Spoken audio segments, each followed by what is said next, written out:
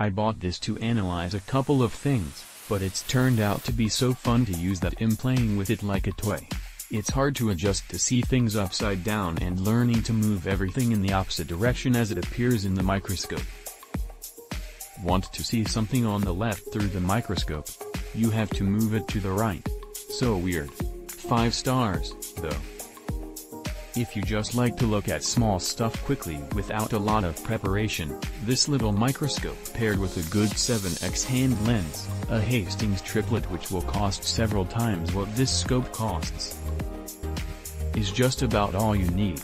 More magnification than 60x is often not very usable with a small scope like this in the field or even at your lab desk or table.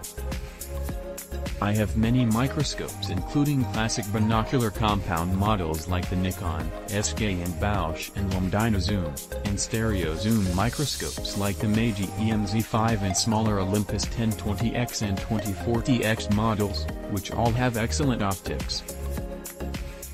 Well, this little microscope is not quite in the class, but for the price it's a great little tool that gives pretty good views. The resolution is adequate but because of the design long working distance and low NA, numerical aperture, it reaches its diffraction limit quickly as you zoom up in magnification. Click link in description for more reviews.